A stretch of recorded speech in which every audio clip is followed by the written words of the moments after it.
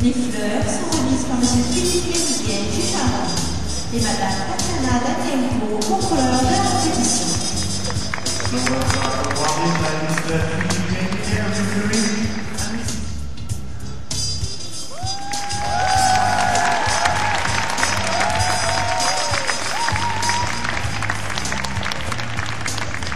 Messieurs, merci de vous lever pour l'hymne national de la gagnante. prize for the best of the winner.